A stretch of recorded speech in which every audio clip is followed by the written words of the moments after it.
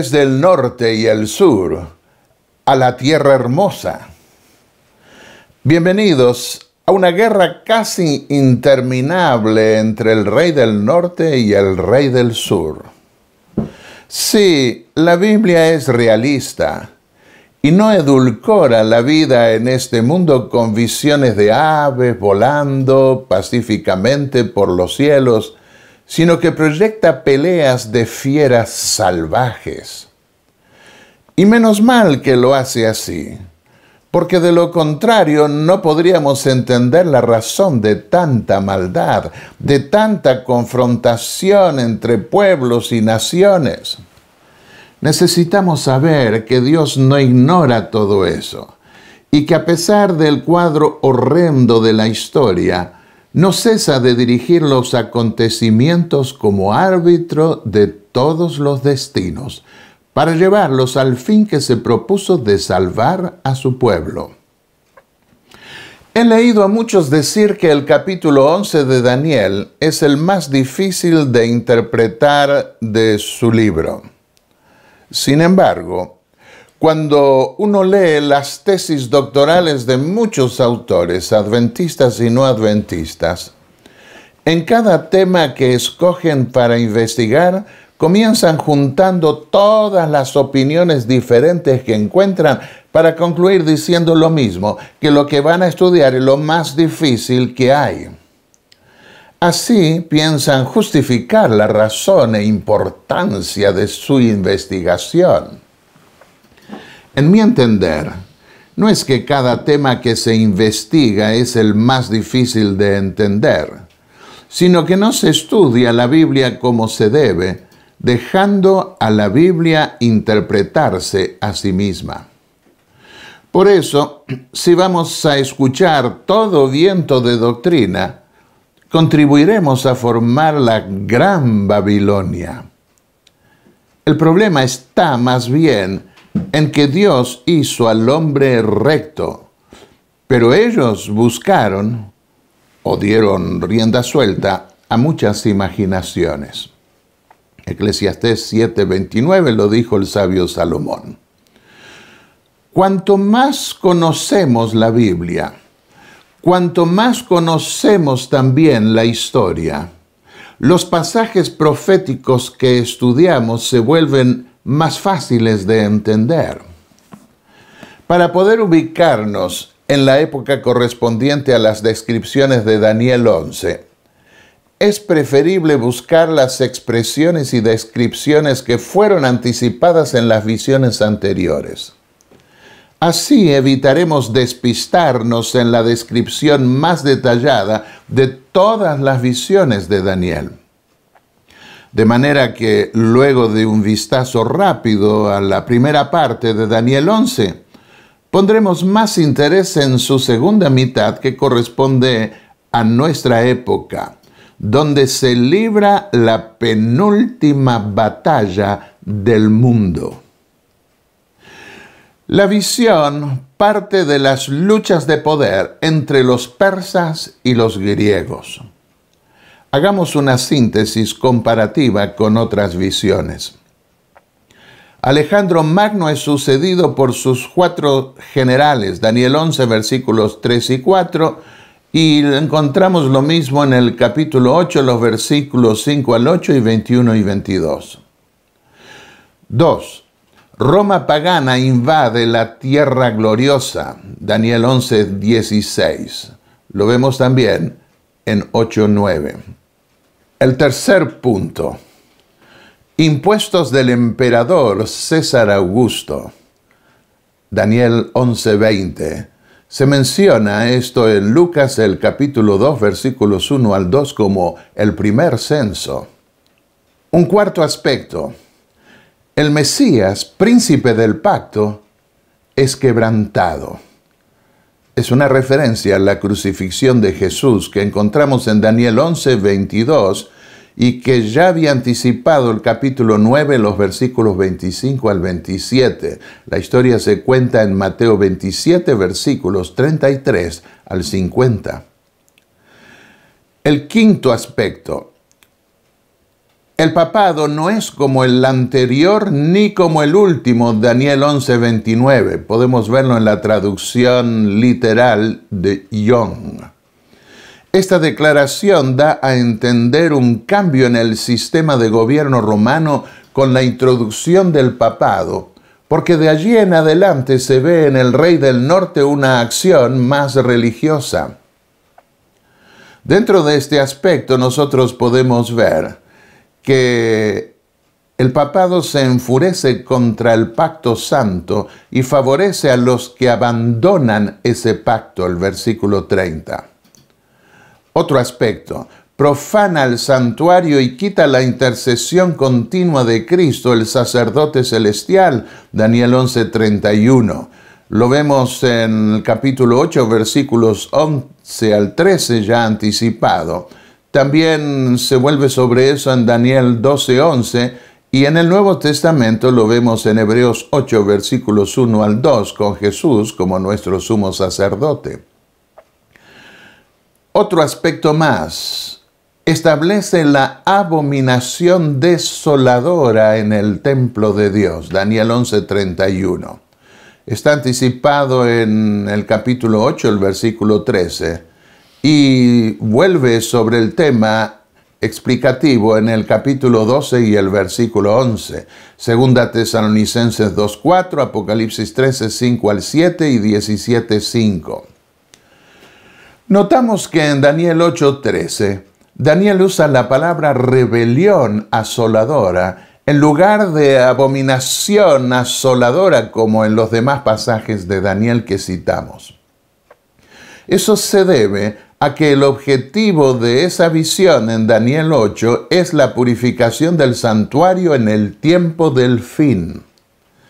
En efecto, en el antiguo Israel, los pecados de rebelión eran perdonados y se purificaba el santuario de todas las rebeliones confesadas. Así, la rebelión medieval de los que siguen una autoridad falsificadora terrenal, segunda Tesalonicenses 2, versículo 3, es curable por la sangre del cordero. Daniel 8:14, Levíticos 16, 16, donde se habla de la purificación del santuario de esos pecados. Puede verse así que la purificación del santuario tiene que ver solamente con los pecados del pueblo de Dios, no con los pecados de las naciones invasoras extranjeras. Esto es lo que vemos en la ley ritual. Cuando Dios dice en Levítico 16:30, porque en este día seréis limpios de todos vuestros pecados, se dirige a Israel, no a los cananeos ni a ningún imperio pagano. Otro punto de comparación. La persecución papal medieval, Daniel 11:35, que aparece ya en 7:25, el capítulo 8, versículos 10 y 13, y en el Nuevo Testamento en Apocalipsis 13:7 y 17:6. La purificación por la persecución tiene que ver con la costumbre de hacer pasar el oro por el fuego para que se quemase la escoria que lo cubría. Daniel 11:35. Lo vemos de nuevo en Daniel 12:10 y Apocalipsis 3:18. El fuego de la persecución produce ese efecto en la formación del carácter de un cristiano. La blancura se refiere al lavamiento de las ropas en la sangre del cordero. Apocalipsis 3, versículos 4 y 5 y 18. Apocalipsis 7, 14 y 22, 14. Porque aún para esto hay plazo, a saber, 1260 años que desembocan en el tiempo del fin Daniel 11:35, anticipado en 7:25 y vuelto a repetir en 12, versículos 7 al 10. En el Nuevo Testamento aparece en Apocalipsis 11:2, 12:6 y 14 y el capítulo 3 y el versículo 5. Otro punto de comparación. se exalta y engrandece a sí mismo por encima de Dios. Eso tiene que ver con una blasfemia, Daniel 11:36. De eso habla Daniel 7 anticipadamente, versículos 8 y 25, y en el Nuevo Testamento, en 2 Tesalonicenses 2.4 y Apocalipsis 13, 5 al 7 y 17.4. Otro punto de comparación. La indiferencia al Dios verdadero y al amor de las mujeres, Daniel 11:37. Una referencia clara, aquí vemos al celibato. Al usar títulos blasfemos, el Papa muestra su despreocupación por el juicio y el honor de Dios. Otro punto de comparación. Pretenderá honrar a un Dios diferente del que revela la Biblia, con oro y piedras preciosas, Daniel 11:38. En Apocalipsis 18 y 4 podemos ver una referencia equivalente. Podrán llamarlo de la misma manera como los israelitas se referían a Dios en su apostasía con los mismos términos, mezclándolos con nombres de otros dioses paganos. Por ejemplo, en el libro de Oseas vemos que usaban indistintamente el nombre Yahvé, el Eterno, y el de Baal, Señor, sin distinguir entre los dos una tendencia que había al sincretismo. Nuevamente otro punto. Honra a los reyes que lo reconocen y reparte la tierra a su gusto como si fuera el dueño de ella. Daniel 11, 39. Era el Papa quien ponía la corona sobre la cabeza de los reyes y emperadores desalojó a los príncipes cátaros de las tierras que se disputaban diferentes reinos en el sur de la Galia y se las dio al rey de Francia. En la bula de Intercaetera concedió a España las tierras de América y confirmó el dominio portugués que otros papas les habían otorgado sobre África, Guinea y la mina de oro. La guerra entre el rey del norte y el del sur en el tiempo del fin se describe en Daniel 11 versículos 40 al 45 y sobre eso vamos a dedicar más tiempo ahora. A partir del versículo 40 de Daniel 11, entramos en el tiempo del fin que comienza cuando concluye el plazo permitido por Dios de gran tribulación, versículo 37. En otras palabras, ese tiempo del fin se inicia con la Revolución Francesa en 1798, cuando un general francés le quitó al Papa Pío VI el supuesto anillo de Pedro y declaró que desde ese momento en adelante ninguna autoridad debía emanar de esa sede. Estas son las palabras del profeta en Daniel 11:40. Pero en el tiempo del fin, el rey del sur contenderá con él. Y el rey del norte se acorneará con él como una tempestad, con carros y gente de a caballo, y muchas naves, y entrará por las tierras e inundará y pasará. La palabra hebrea usada para hablar de la contienda es la que se usa en hebreo para describir dos animales que se embisten con sus cuernos. ¿Quiénes son el rey del norte y el rey del sur en el tiempo del fin? En la época de Daniel, hubo una contienda entre el rey del norte y el rey del sur. Según el profeta Jeremías, el capítulo 46 y versículo 10 de su libro, el rey del norte era una referencia a Babilonia. En tierra del norte, junto al río Éufrates, leemos. El rey del sur, por otro lado, era una referencia a Egipto en el versículo 20 del mismo capítulo leemos, Becerra hermosa es Egipto, Más viene destrucción, del norte viene. Daniel mismo dice que en el tiempo del fin, el país de Egipto no escapará de la invasión del rey del norte, Babilonia. Daniel 11:43.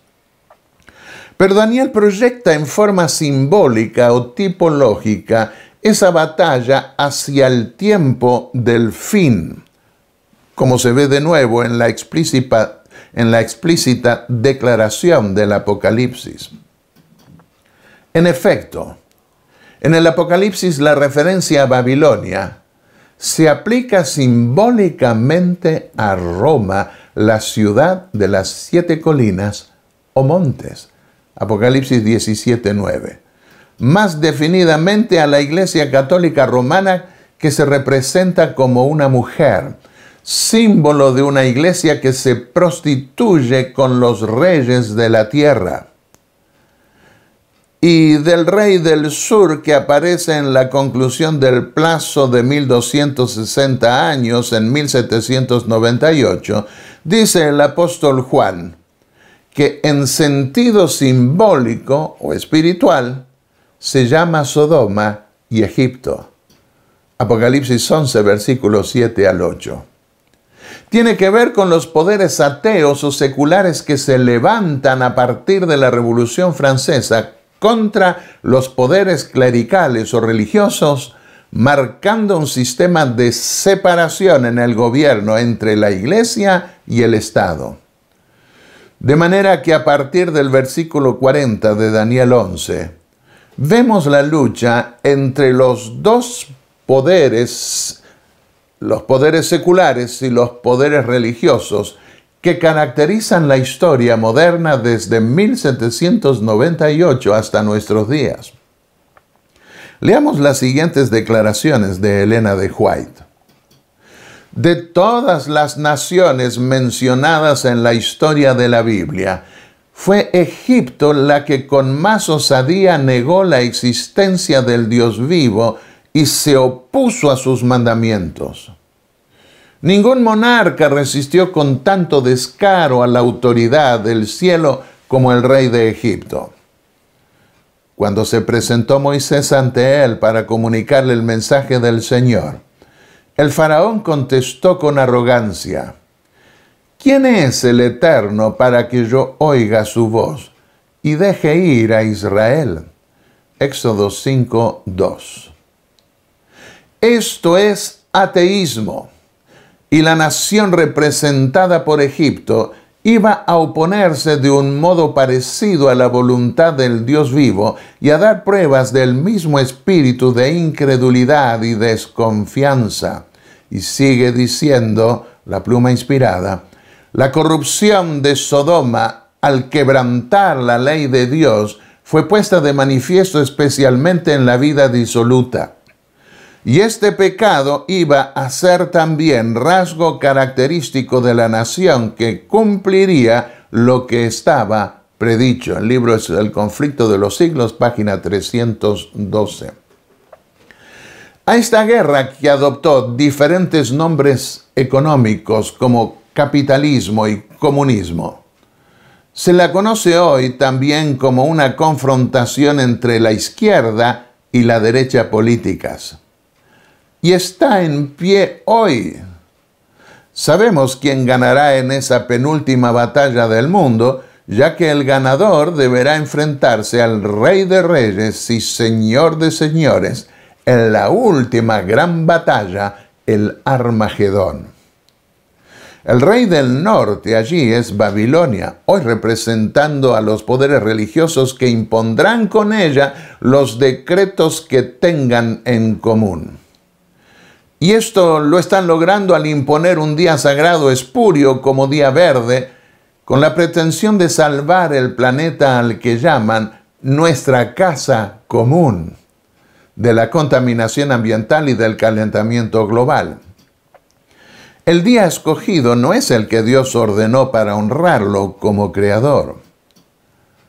Daniel capítulo 11 versículos 43 ahora se apoderará de los tesoros de oro y plata y de todas las cosas preciosas de Egipto. Juan expresará lo mismo con otras palabras en Apocalipsis 13, 17, en referencia al control económico que buscarán implantar en el mundo entero. Ese boicot económico ya lo están aplicando los Estados Unidos y Europa a los países que no adoptan los principios de gobierno democráticos occidentales. Pronto esa discriminación irá más allá y se volverá no racial, sino religiosa contra todos los que guardan los mandamientos de Dios. Dice Daniel 11:41, entrará en la tierra hermosa o gloriosa. Palestina, más definidamente Israel, donde antiguamente estaba el templo de Dios. Pero después de Cristo, lo que cuenta para Dios y su pueblo no es el Israel según la carne, sino el Israel de Dios, Gálatas 6:15, el Israel espiritual, la verdadera iglesia de Cristo. Muchas iglesias protestantes y evangélicas iban a caer en la crisis final que lideraría la iglesia romana. Pero continúa diciendo Daniel, estos escaparán de su mano, Edom, Moab y la mayoría de los hijos de Amón.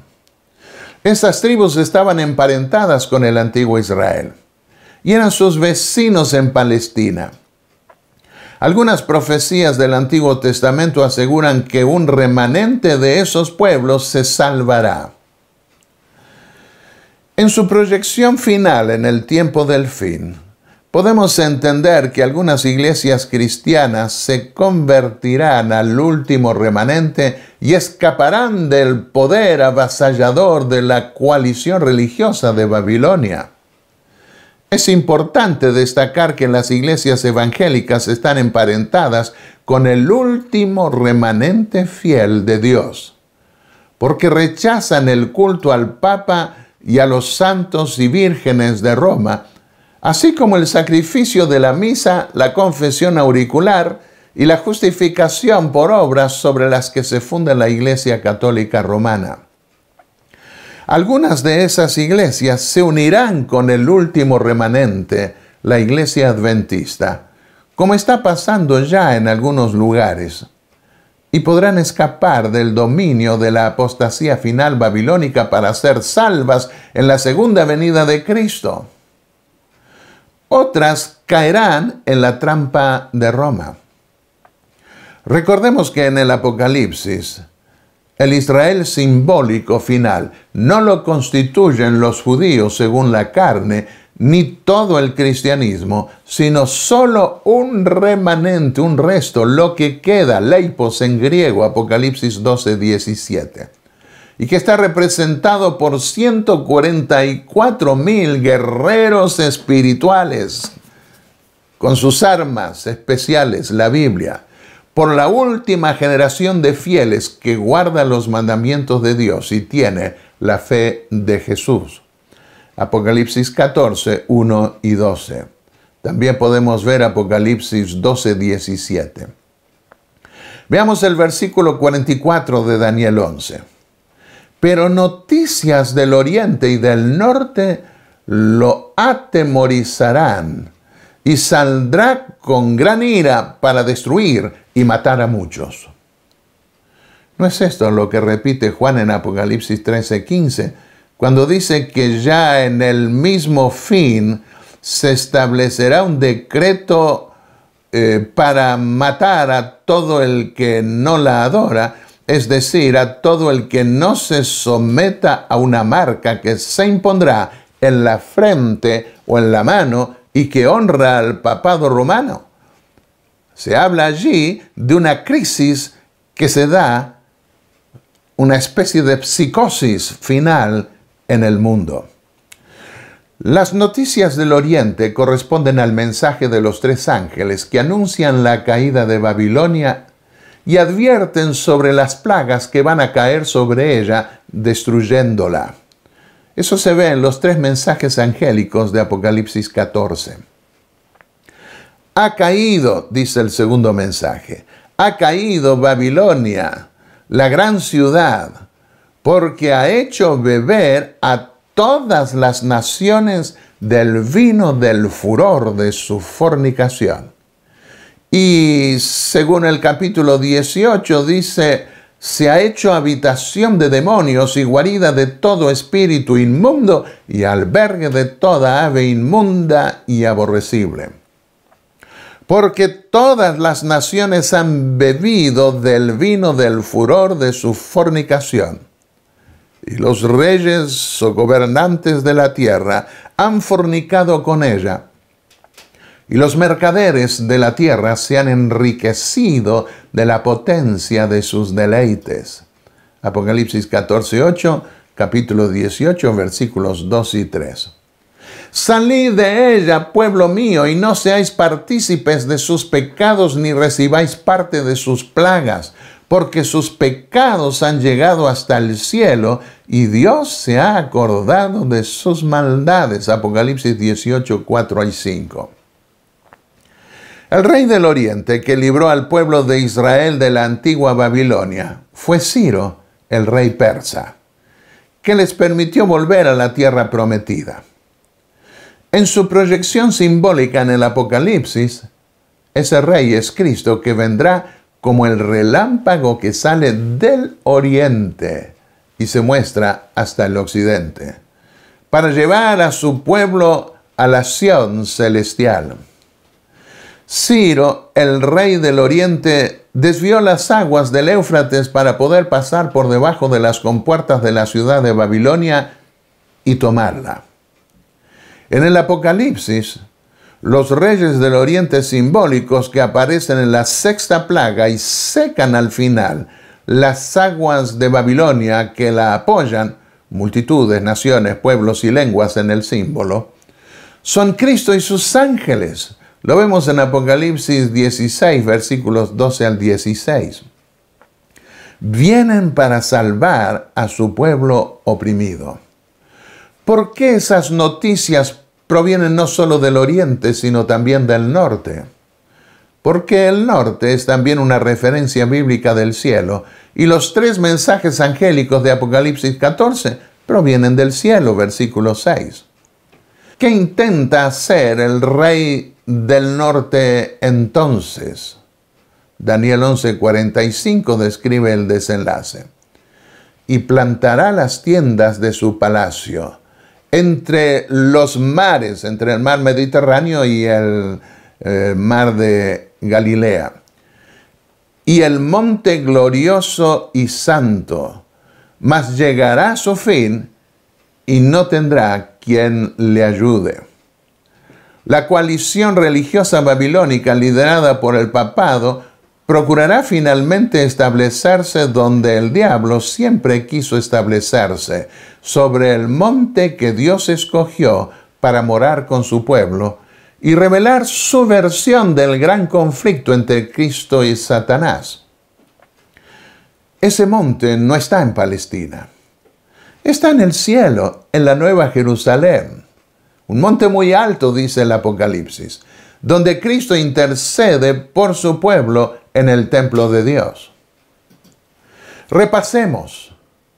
El rey del norte es Babilonia, que en el Apocalipsis se usa para hablar de Roma, más definidamente del papado romano.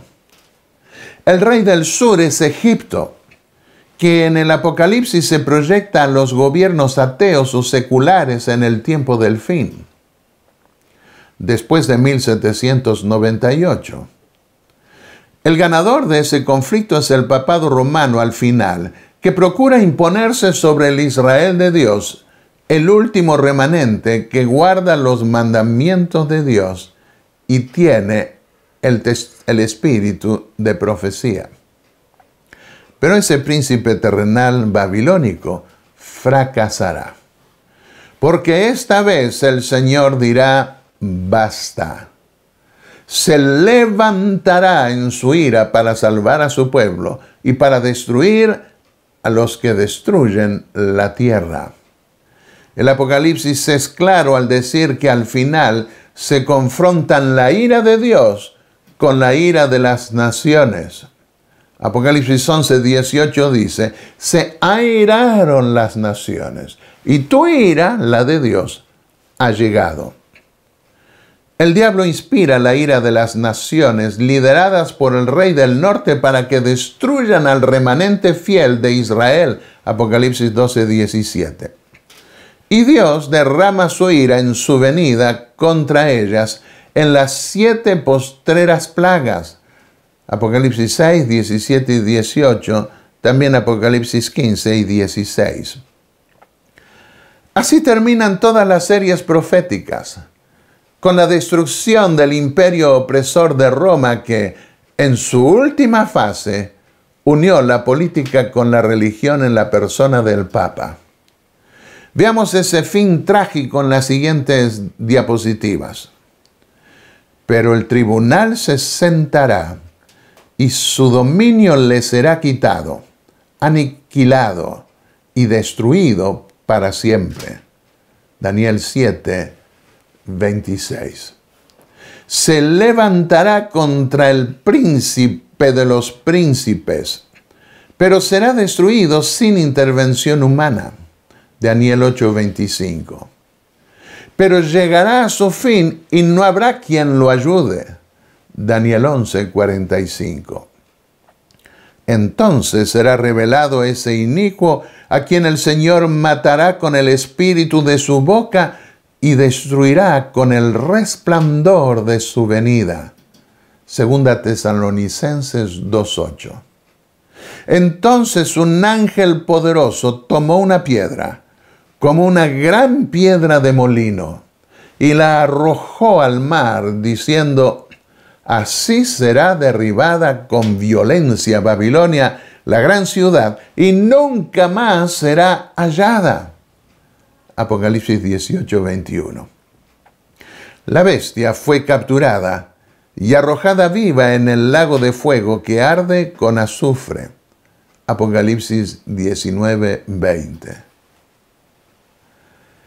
¿En qué momentos solemnes estamos viviendo? Y tanta gente no lo sabe. ¿Y cuántos de nosotros estamos viviendo como si nada pasara, sin percatarnos de cuán cerca estamos para que esta nube oscura que ya se cierne sobre el horizonte se desate como una terrible tempestad? ¿Qué es lo que más importa en este relato? Lo que se describe en el siguiente capítulo, que Miguel se levantará para salvar a su pueblo a todos los que estén inscritos en el libro de la vida. Prepárate, amigo y amiga mía, porque ese día se acerca. Que así sea. Amén.